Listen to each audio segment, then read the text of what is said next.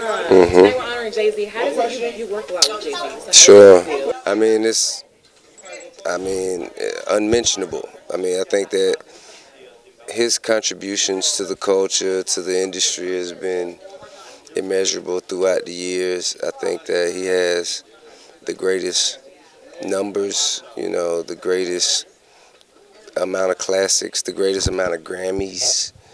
Um, I think that this is, you know, a time that is, I would say it's long overdue, but considering how, how, how young he is in the culture, I think that, you know, it's just about that time.